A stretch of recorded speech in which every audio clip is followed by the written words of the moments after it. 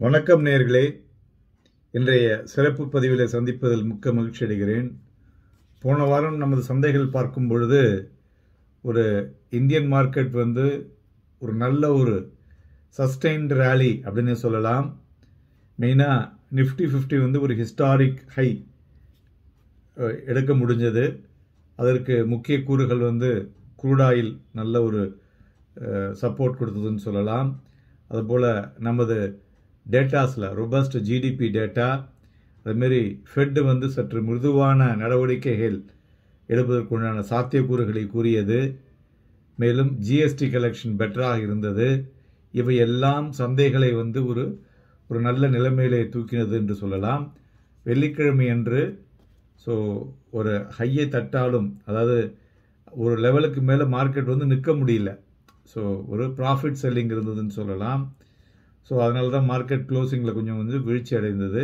இருந்தாலும் ஓவராலாக வந்து ஒரு நூற்றி எழுபத்தாறு புள்ளிகள் அதிகரித்து பதினெட்டாயிரத்தி எழுநூத்தஞ்சிலே முடிவடைந்திருப்பது குறிப்பிடத்தக்கது. அதுபோல் இந்திய ரூபாயினுடைய மதிப்பு எண்பத்தொன்று புள்ளி மூணு ஏழாக முடிவடைந்திருக்கிறது. எஃபிஐ பார்க்கும் பொழுது நவம்பர் மாதம் முப்பத்தாறாயிரத்தி இரநூத்தி முப்பத்தொம்பது கோடி ரூபாய்க்கு வாங்கியிருக்காங்க.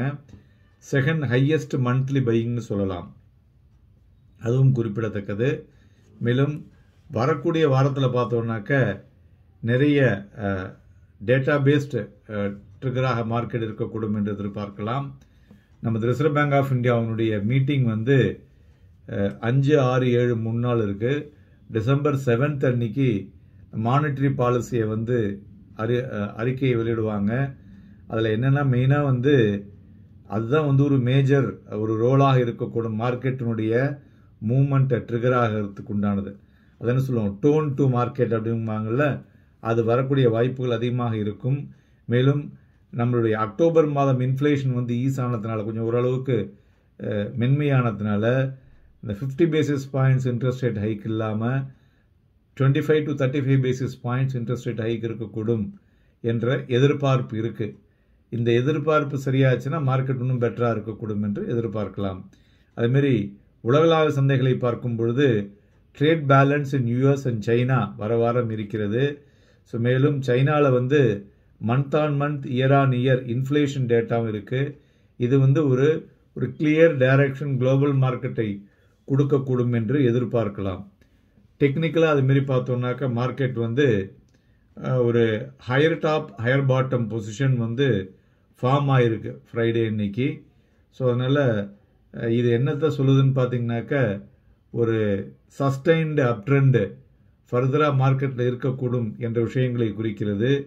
அதுபோல் அந்த ஃபோர்டீன் டேஸ் ஆர்எஸ்ஐ பார்க்கும் பொழுது ஓவர் பாட்டில் இருந்தாலும் ஸ்டில் வந்து அது வந்து நோ என்ன சொல்கிறது ஒரு ஒரு செல்லிங் உண்டான அறிகுறிகளை இன்னும் அது காமிச்சு கொடுக்கல. ஸோ அதனால் அதுவும் வந்து குறிப்பிடத்தக்கது. அதேமாரி இந்த பேட்டர்ன் இருக்கு இல்லையா? இதை வந்து பாரிஷ் கிராப் ஹார்மோனிக் பேட்டர்ன் அப்படிம்பாங்க.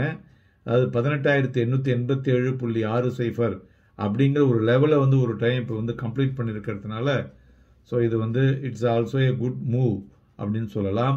இருந்தாலும் எயிட்டீன் தௌசண்ட் நைன் ஹண்ட்ரடுக்கு மேலே போச்சுனாக்க ஒரு பெரிய புல் மூவ் இருக்கக்கூடும் என்று எதிர்பார்க்கலாம். அதுபோல் பதினெட்டாயிரத்தி ஐநூற்றி முப்பத்தஞ்சு ஒரு ஸ்ட்ராங் சப்போர்ட்டாக இருக்கக்கூடும். மேலும் இந்த வரக்கூடிய நிகழ்வுகள் எல்லாம் சந்தைகளுக்கு சாதமாக இருந்தால் நிஃப்டி வந்து பத்தொம்போதாயிரத்தி நானூறு வரை செல்லக்கூடிய வாய்ப்புகள் வர வாரத்தில் அதிகமாக தெரிகிறது. மேலும் இதுவரையிலும் பார்த்தோம்னா மிட்கேப் வந்து பர்ஃபார்மே பண்ணாமல் இருக்குது இந்த வாரம் மிட்கேப் வந்து பார்ட்டிசிபேட் பண்ணக்கூடும் என்று எதிர்பார்க்கலாம். அதுபோல் IT metal infrastructure related infrastructure and cement இந்த துறைகளெல்லாம் மொமெண்டம் இருக்கக்கூடும் என்று எதிர்பார்க்கலாம். திங்கக்கிழமை அன்னைக்கு வாங்கி விற்பதற்கும் விற்று வாங்குவதற்கும் மார்க்கெட் வந்து ஏதுவாக இருக்கக்கூடும். Happy trading and happy investments